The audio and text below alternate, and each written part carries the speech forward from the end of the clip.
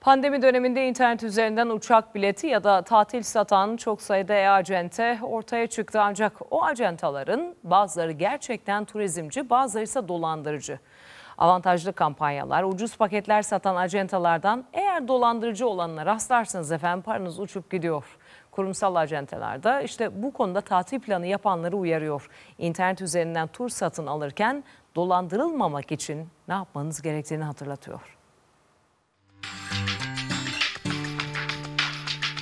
Adı seyahat acentesi ancak ne ofisleri var ne de belgeleri. Ucuz tur adı altında adeta vurgun yapıyorlar. Şimdi Küba'yı satıyor 800 euroya. Sayıları pandemide hızla arttı. İnternet üzerinden uçak bileti ya da tatil turu satan çok sayıda e-acente ortaya çıktı. Üstelik büroları dahi bulunmuyor. Sadece internet adresi ya da sosyal medya hesabı kullanıyorlar. Söyledikleri şudur çağrı merkezlerinde şu anda pandemi nedeniyle evden çalışıyoruz herhangi bir ofisimiz bulunmuyor diye bilgi verebilirler. Ve kendi hesapları üzerinden sözüm ona kampanya yapıyorlar. Kurumsal acentelere nazaran cazip fiyatlar sunuyorlar. Tüketicinin dikkatini çekme amaçlı e, özel kampanyalar işte indirimler yapıyoruz diye e, sadece insanları bu siteleri çekme amaçlı yapılan e, reklamlar bunlar. Dolandırıcılar insanları kandırmak için öyle yollara başvuruyorlar, öyle kampanyalar yapıyorlar ki işte bir tanesini sizlere gösterelim. İşte bakın bir alana bir bedava yazıyorlar. Hatta ve hatta içlerinde euro kurunu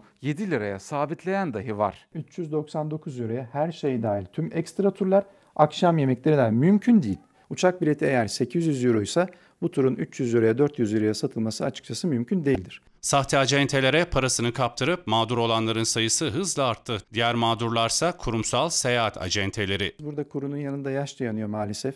İnsanlar her acenteye de güvenemiyor. Burada da açıkçası biz de birazcık zorlanıyoruz. Peki internet acentelerinde gerçekle sahte acenteler nasıl ayırt edilebilir? Uzmanlara göre inceleyip sık dokumakta fayda var. Tüketiciler bir satın alma yapmadan önce e, seyahat acentasının öncelikle TÜRSAP belgesinin olup olmadığını kontrol etsin. O acente hakkında herhangi bir şikayet var mı yok mu onu da kontrol etsinler. Eğer yakın bir yerdeyseniz mutlaka ofislerine gitmelerini tavsiye ederim.